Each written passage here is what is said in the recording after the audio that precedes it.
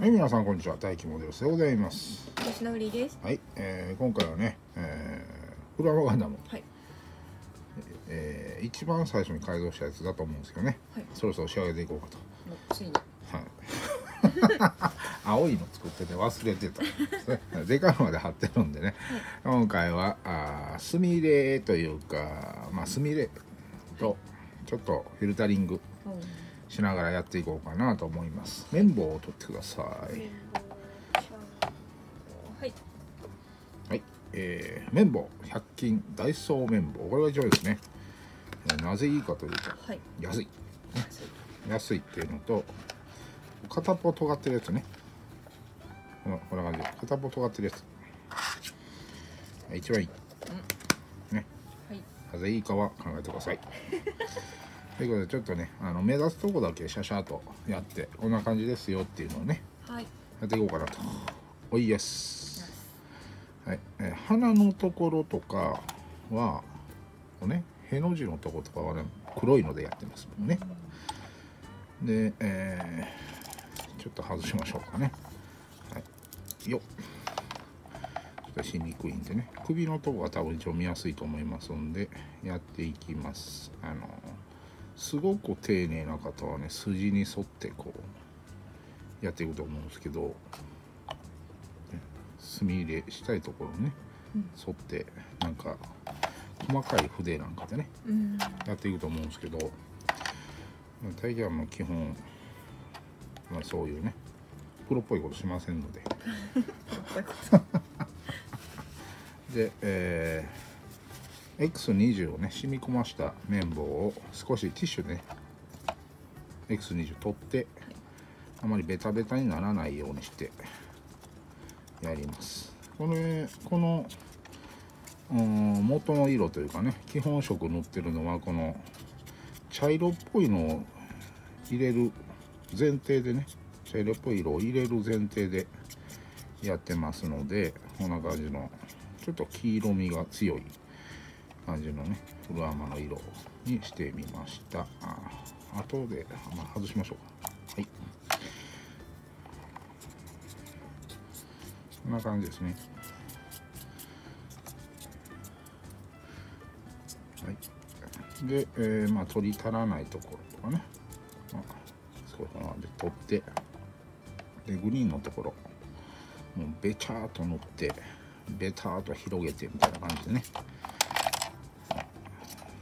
こんな感じでやっていきます。そうするとね色味が少し変わってわかりますかね？ここら辺と色味が変わってるの分かりますかね、こういう感じで。唾液のいうフィルタリングっていうのが染み込んだこういうのでね全体なぞってフィルターをかけたようにするの？をフィルタリングと一応呼んでおります。正式にはねどうなのかちょっとわかんないんですけどもね、はい、なんか曖昧なんですよ。すごく。うん。曖昧なんでまああ便宜上うんところどころ色変えて汚すみたいなのをウォッシング。うん。でこんな感じで全体的に色変えるのをフィルタリングと呼んでね区別しております。まあその方がねあのいつも見ていただいてる方に伝わるかなということでね、ここら辺まあ見えなくなっちゃうんですけど一応ね。なんとなく気分が悪いので。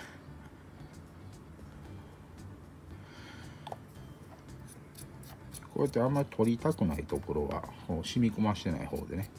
こうやって軽くなぞるだけでこんな感じでね、で比べてみるとこうオレンジもだいぶ色抑えられてるでしょ、そうですね。なんとなくね。なんとなくよくできたように見えます、まあ基本あの自分が納得すればそれでね。大丈夫なので。ご自身が納得するような感じでね。やられるといいんじゃないかなと。思います、はい、で横、まあ、胸のとこちょっと一つしきりねやってから、もう本当に色変わったなぐらいでね押さえるとすごくいい感じに見えるようになるんじゃないかと思います、まああの何ですか？学校で習ってる美術レベルの話ですね、あの専門的な話ではなくね。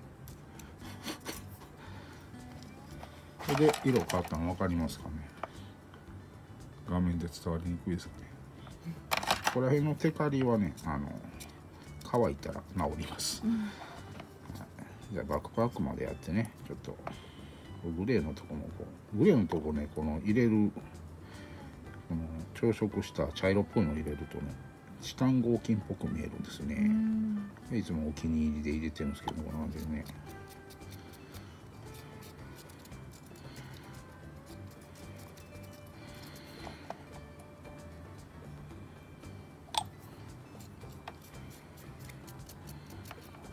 どうでしょう。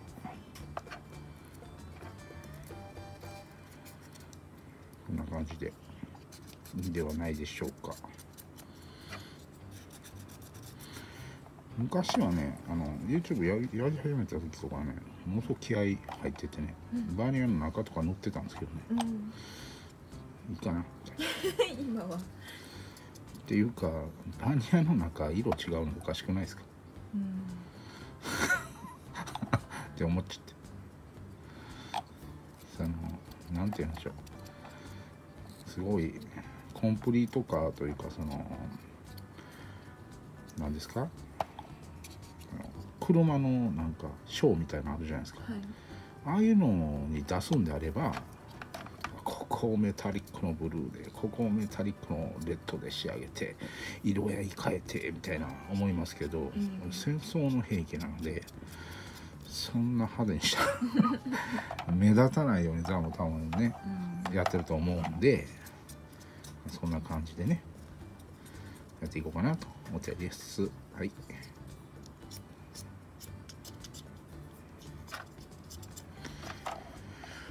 こんな感じですね。ちょっと分かりにくいかもしれないですけどね、はい全体やっていきます。はいこんな感じ終わりました。はい。色合いが変わったのがねうん。あの違いが分かる人たちは分かると思うんでね、はい、全員分かったと思いますけどね。違いが分かる人は分かるんでねってやると分かってる気になりたいでしょ。そうですね。なりたい。言葉のマジックですね。う、ん。はい、詐欺師に騙されたらダメですよ。わかりたい。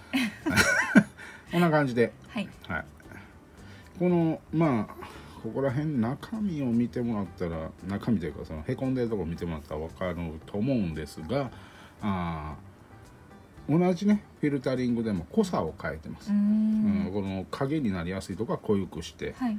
えーもちろん、うん筋えーっとね分かりやすいところがあるかな。どうだろう。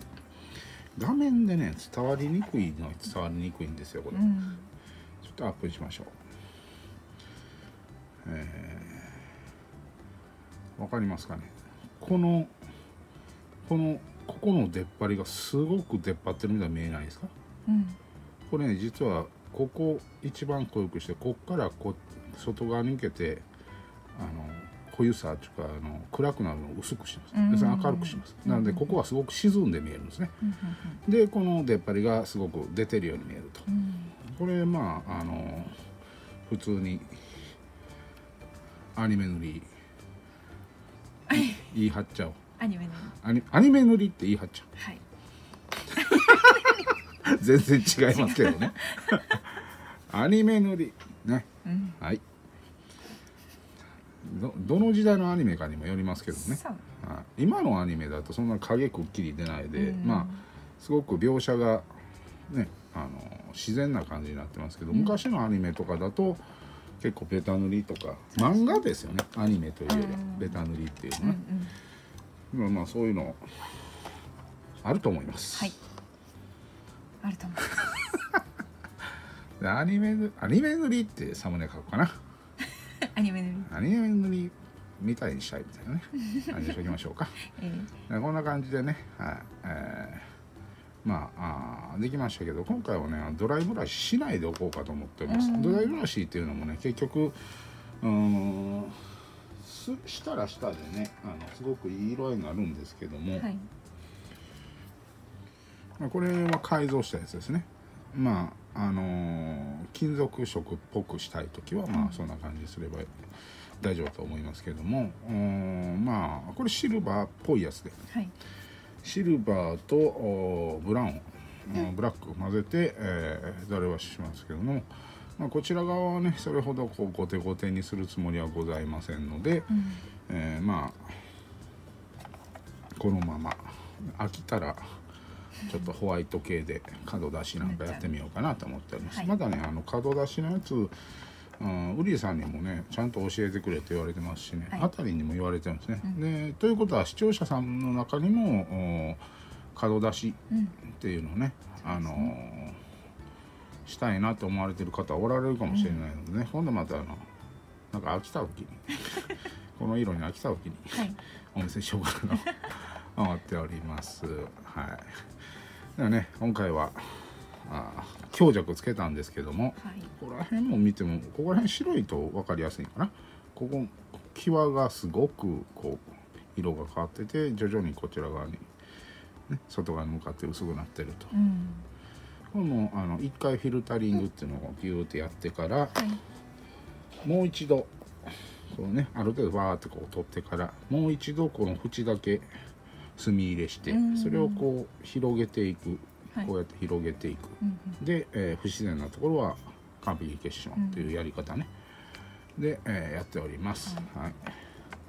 まあ普通の墨入れとはちょっと違うかなとは思うんですけども、はい、アニアニメ塗りみたいに墨入れしたいですね。はい。はい。思いついたみたいな感じでやってみました。はい。はい、それではこの動画面白いと思いましたらグッドボタンチャンネル登録 Twitter の方よろしければね、えーもう2つチャンネルやっております。大食べたい RC ラジコン動画という方でね、えー本職のラジコンの走行動画。そしてディーラー模型研究所の方でウリさんと一緒に最近はちゃんとね模型系のやつだったりとか、あーライブではね夜心霊ドライブライブなどね やっておりますのでね、そういうのも好きな方はぜひライブとか見ていただければと思います。よろしくお願いします。それではさよなら。さようなら